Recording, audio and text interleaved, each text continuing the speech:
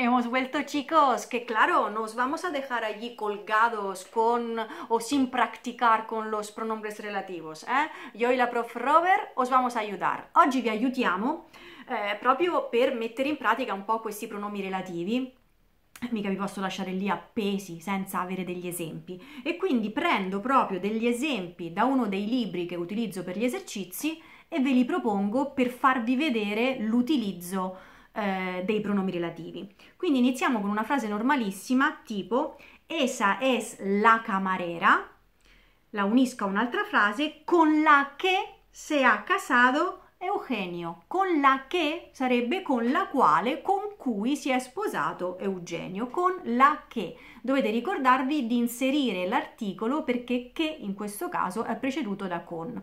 Avrei potuto anche dire con la qual si è casato Eugenio.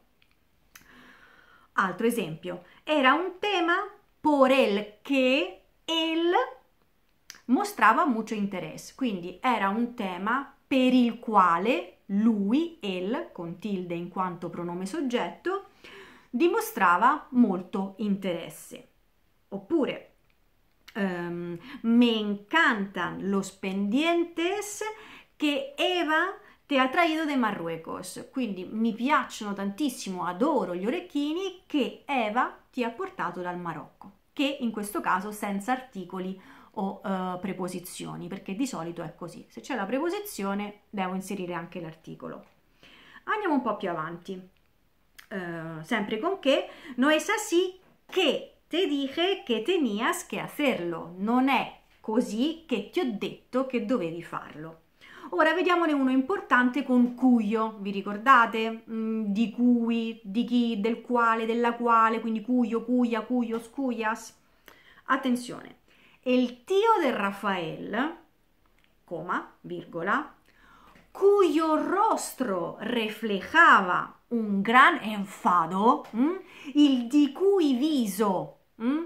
quindi il viso dello zio di Rafael mostrava una grandissima arrabbiatura, enfado, quindi cuyo rostro si riferisce al viso dello zio, il di cui viso eh, rifletteva una grande arrabbiatura, se levantò y se fue. El tío de Rafael, cuyo rostro reflejaba un gran enfado, coma, se levantò y se fue. Continuiamo. Esa de allí, enfrente, es la casa en puntini puntini nació Zorrilla. Posso dire en la che mettendoci l'articolo in quanto c'è una preposizione, quindi che in che non lo posso dire, devo dire en la che riferito alla casa, oppure en la qual, mm? soprattutto se è formale quello che stiamo dicendo, en la qual ci sta molto bene. Attenzione, eccone un altro. Pregunta. ¿Esas chicas son tus hermanas? Respuesta. No, mis hermanas son, in italiano sarebbe no, le mie sorelle sono quelle che stanno sedute dietro. in spagnolo, quelle, lo dico?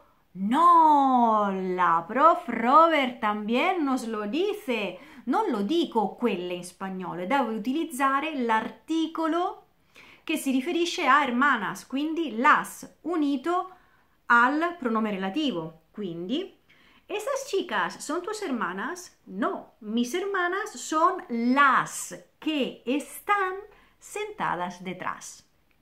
Vediamone un altro con quién oppure quiénes. En la recepción estaba también Roberto a puntini puntini ya había visto por la mañana en la conferencia. In questo caso riferito a Roberto, a chi? Mm? Quindi io questo Roberto è riferito a persona, l'avevo già visto, quindi en la recepción estaba también eh, Rodolfo, perdón, bueno, da igual, a quien ya había visto por la mañana en la conferencia. Y si eran dos, Roberto y Rodolfo, por ejemplo, pues eh, en la recepción estaban, verbo al plurale, también anche Rodolfo y Roberto a chi plurale in spagnolo a quienes ai quali? Mm? Ya había visto por la mañana en la conferencia. A in questo caso è chi, si riferisce a due persone. Ultimo, mm? el armario, puntini puntini, mi abuela guardava la roba de invierno, era del siglo XVIII. Quindi l'armadio nel quale no? mia nonna eh, teneva da parte eh, i vestiti invernali era del XVIII secolo. Quindi è l'armario e nel che, oppure molto più formale, e nel qual mia nonna teneva da parte, eccetera, eccetera, era del secolo XVIII. Quindi e nel che oppure e nel qual. ¿Ok? Bueno, un poquito de ejemplos ya los tenemos, pondré más en el tutorial y por supuesto nos vemos, nos vemos la próxima, la próxima, hoy que no puedo hablar, la próxima vez, chicos, besazos con la prof Robert.